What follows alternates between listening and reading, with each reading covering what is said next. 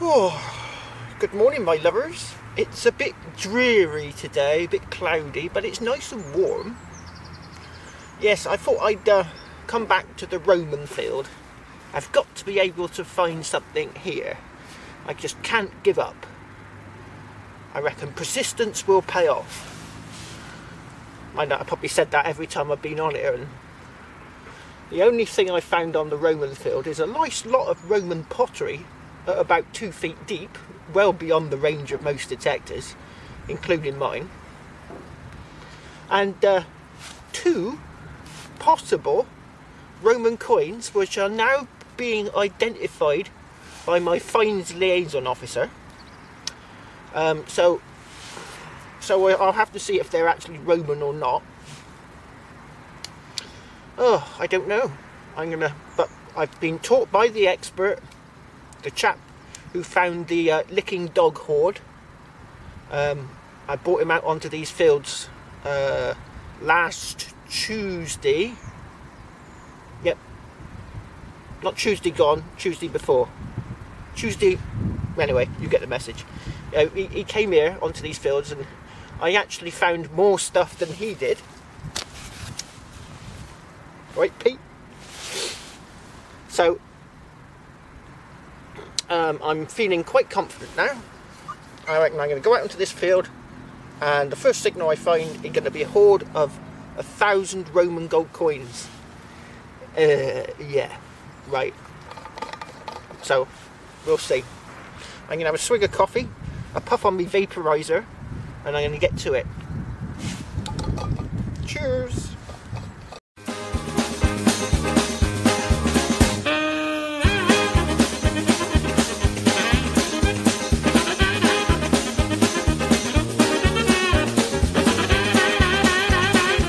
Oh, I got got a signal down in here, my lovers. If I turn it on, no, that might help.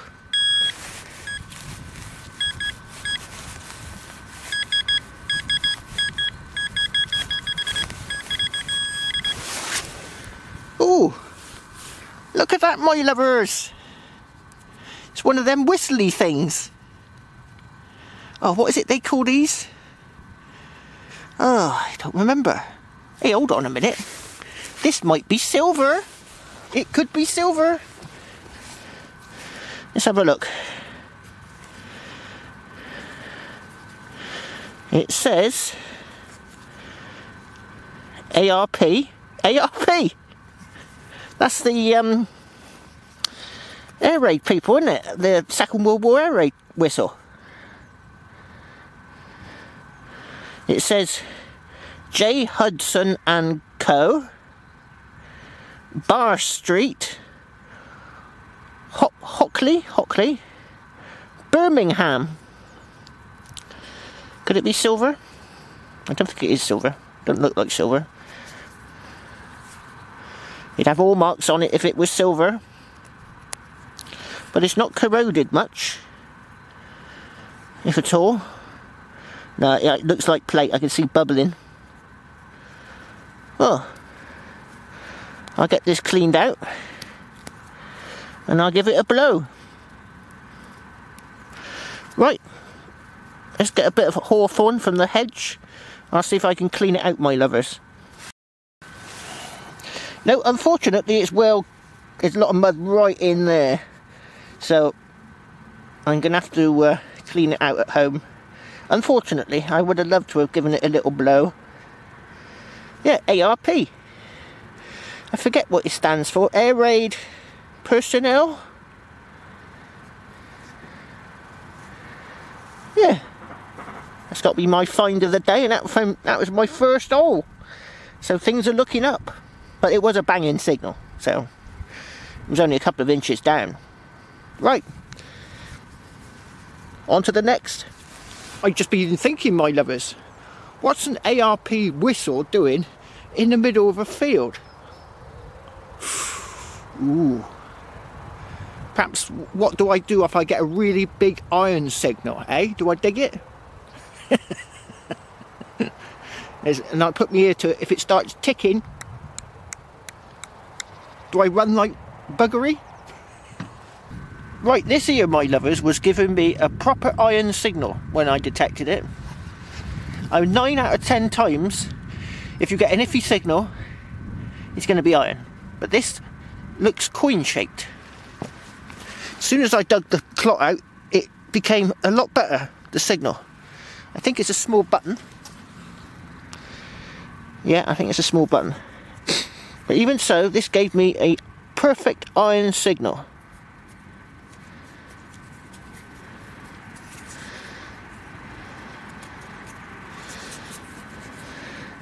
That could have easily been a Roman coin. It's got a bit of fancy on it. Right. Don't think there is any. It is a bit uneven, the surface. I'll give it a rub on my trousers.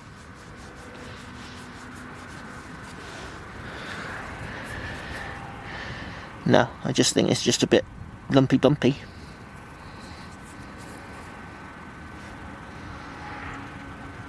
Right, on to the next. Right, what we got here, my lovers, is this is the amount of iron that's in the ground here. So I'm going to show you. And what I'm looking for, this is, I'm doing it in low and slow. So hardly any discrimination at all that you can see. If there is any.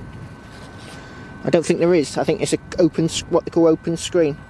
Right, so I'm going to show you what um, Oh, iron there is in the ground here.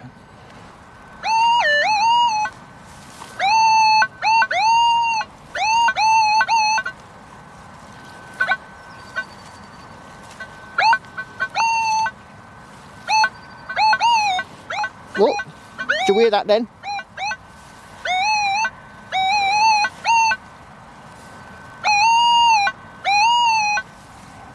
No. What I'm looking for here is a nice low tone.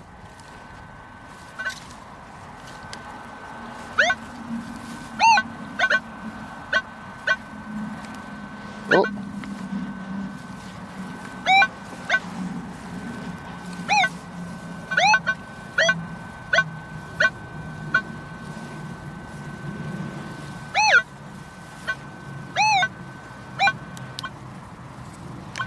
I'm going to put the pinpointer in.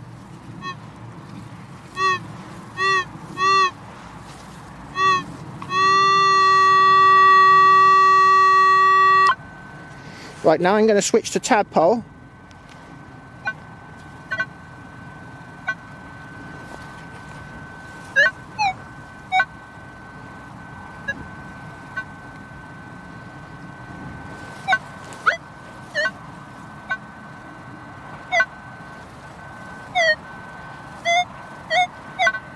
Right about there.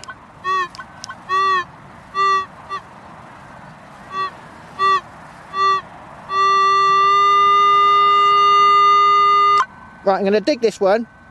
It said 12 inches, I think. Yeah, 12 inches. And at that depth, the detector can struggle to see what's in the ground. In fact, most detectors will struggle. So I'm going to dig it, and then I'm going to show you what it is. Right, my lovers?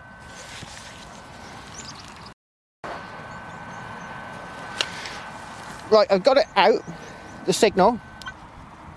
And as you can see, I got the pinpointer and nothing there. Move over.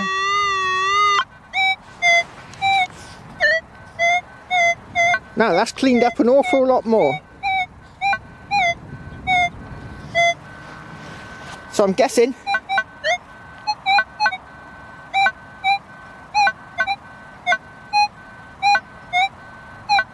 I'm guessing it's going to be uh, a small object because it said 12 inches and it's only 9 so I'm going to see what it is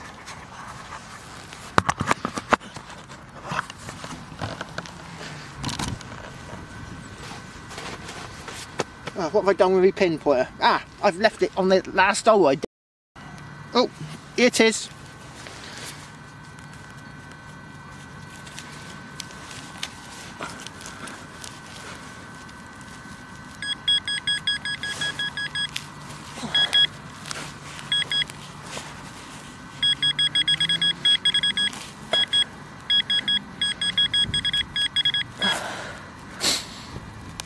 Where's it to? Oh. Eh? Where's it to?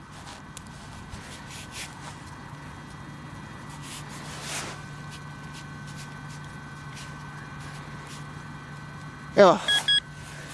I'll, I'll come back to you when I find... Right, I found it, my lovers. Here it is. And it is a something. Ooh, don't know. Ah, there we go. Looks like a bit of melted aluminium.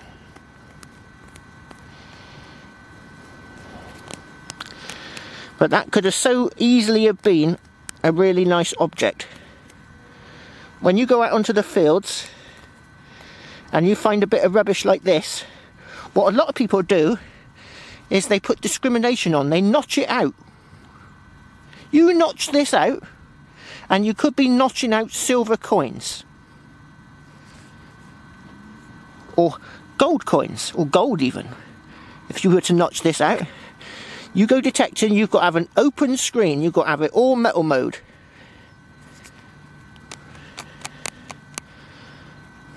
And then what you do is you switch between all, all metal mode to uh, another program. Just to sort of confirm whether it is rubbish or not. And that's what you do. You dig everything. Right, on to the next. Oh, look what I just found, my lovers. I think though it looks a bit buttony.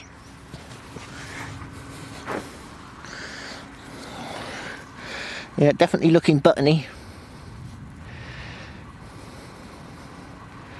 That's the second broken one I've got off this field. They must have been doing some ploughing at some point then. All these broken buttons. Right. On to the next. Oh, look what I just got here, my lovers. I didn't film it because I thought it was going to be a bit of rubbish. But it looks like... Now, is that a buckle thing for a buckle? You know, that strap end? Possibly. I don't think it's Bronze Age. The metal's way too thin. Well, it's quite old, I should think. Maybe 100 years old. Yeah, I think that's just a, like one of those canvas belt strap ends, you know. Right, that's quite near where I found the um, the whistle, and the and this and the whistle are right underneath some power lines. So I'm thinking that nearby there might be a great big hole, and uh, a, there's a big bomb in the bottom of it, or maybe not. I'll see if I can find any big indentations and then see if there's a, a metal signal. Of course, if it if one was to drop here, it will be way, way over the depth of uh, what my metal detector can do. It might pick up a big iron signal more than 12 inches down, but um, I don't think I'll be digging it somehow if I did. Right, on to the next. Right, I was just digging this hole, my lovers. And I always dig a bit of earth out to begin with. I get down to the depth that it, it says on the detector. Um, so I was digging the hole and out it popped.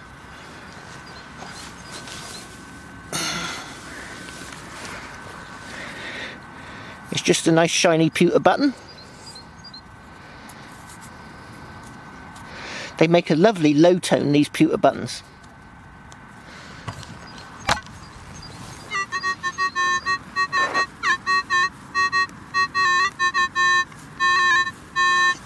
sound better when it's underground for some reason. Right, on to the next. I'm thinking I'm having a bit of a button day today, my lovers.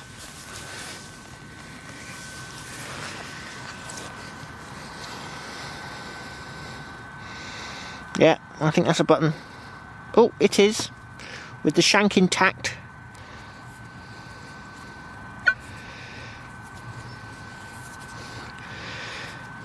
Right, on to the next. Oh, I just got up a lovely bit of iron, my lovers. Look at the shape of it. Looks like an axe head. I'm not sure it is because it's all one thickness all the way through. It definitely looks like a sort of axe head shape. Is a little bit thicker there. But I would have thought it would have been more tapered like that, like, you know.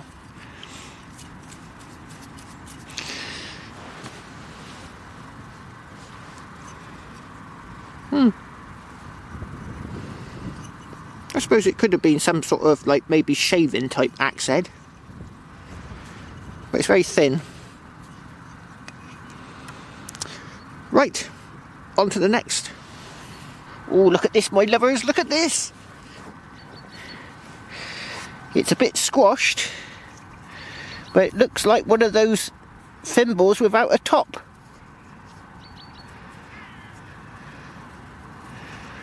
Oh, yeah, lovely. One of those headless thimble type things.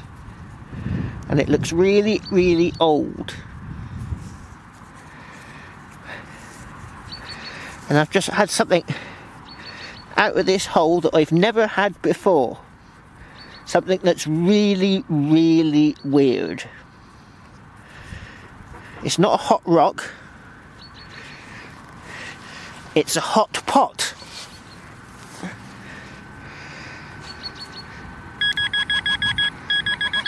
It's a hot pot. I've never had a hot pot before.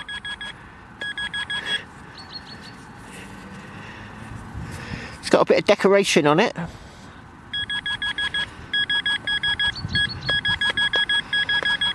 Isn't that weird? I've never had a hot pot before. That is bizarre. Right. It's got a bit of decoration on it. When I thought the shiny, when I saw the shiny, I thought, ooh, Samian ware. But it's a bit thick. I don't think it's Samian ware. Right, on to the next. Got here my lovers, I must have just missed it. There's the edge of something. Ooh, goes round.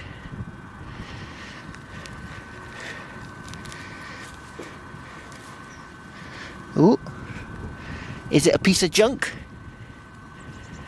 I think it's a piece of scrap. What a shame. I thought that was going to be something nice then.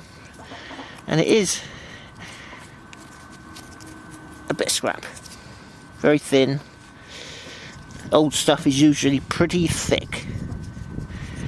And this looks like it's a rim off something. Probably an old bit of cart or something. Right, on to the next. Look what I got here, my lovers. I think I got another button.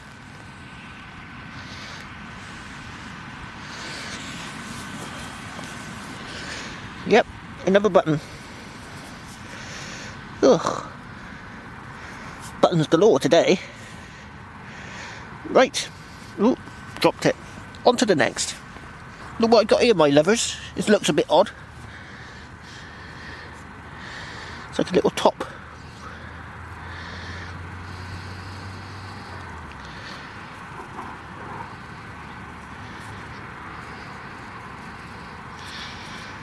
Hmm.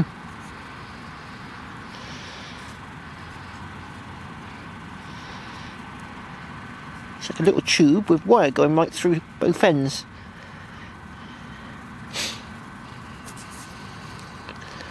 Pass.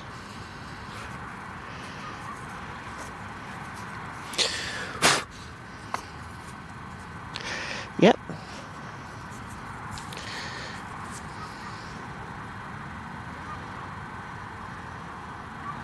Getting a bit dark now. It's not focusing too well. Oh, there we go. Yeah, bizarre.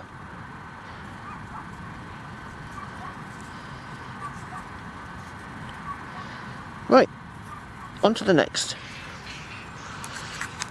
I got a target in here, my lovers.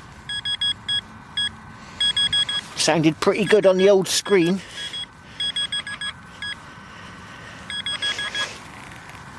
Oh.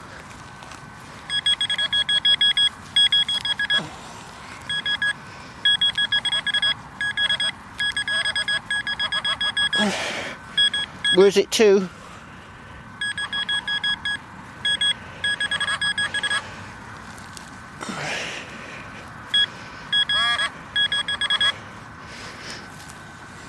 No. No? Where's it? Where's it to? No?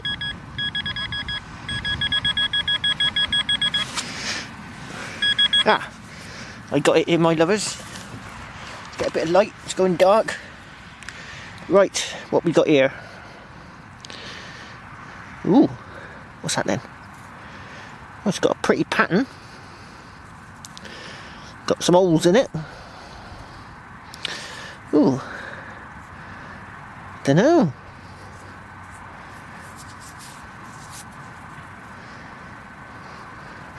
Is it my first bit of Roman? Could it be Roman?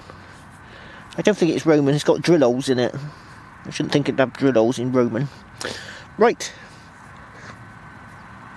On to the next. Oh, I think I got something in here, my lovers.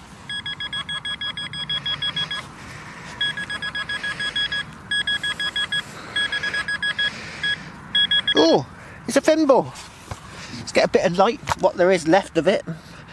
Right, another thimble. I'm on a roll today.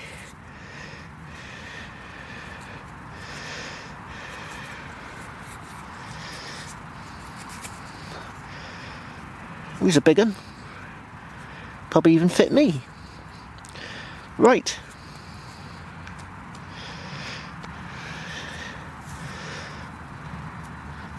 On to the next. Is it going to focus? Focus, focus, focus? Hmm. Ah, there we go.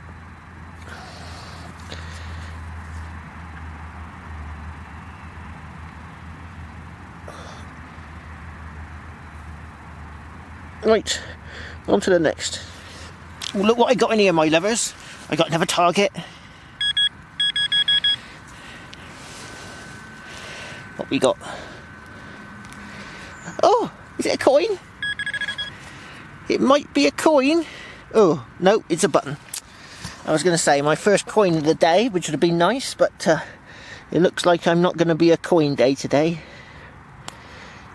No, it's been a button day and thimble day. Button and thimble day. Right. Ugh, it's not focusing. Come on. Right. It's getting too dark for the focusing lock. Right. Oh that's it my lovers. That's it. End of the day unfortunately. I'm starting to like this low and slow pro program. In combination with tadpole I think um, uh, what I might do with tadpole is uh, lower the um, the discrimination a little bit. Just lower it. And um, see if I can get some extra depth on tadpole somehow but I, but I like the way it's sort of quite stable when you find a target. With the low and slow, you wander around and it, it screams off at every target. So when it finds a signal, uh, a good one, it screams off on it. But you switch it to tadpole and you can hardly hear it. So, you know, it's making this field into a new field, literally. Because now, as I would have had it in tadpole, and I probably would have missed it, now, it, because it screams off in low and slow, I, have got a target and I can isolate, I can move it in and get really on it. Like as before, I would have been, uh, it would have been a no sound. It would have just coil would have gone over it without noticing it because it's, uh, you know, it, it's just a better program. So I think uh, it's, it's a bit like wandering along with your pinpointer on all the time. So I'm going to tweak the programs a little bit, see if I can get some extra depth out of the uh, tadpole. But um, I'm, you know, a combination between low and slow and tadpole, I think uh, is the way forward for me. Because lots of people use different programs, but I think this one's the best. Right, I'm off down the pub now. Oh, for some jars of ale. Yeah, sun's gone down. It's about uh, 20 past four getting dark. I don't want to be slipping over in the mud. So uh, I'm going to hit the rubber road to freedom. Rubber as in boots. And uh, get down the pub for some jars of ale. Cheers!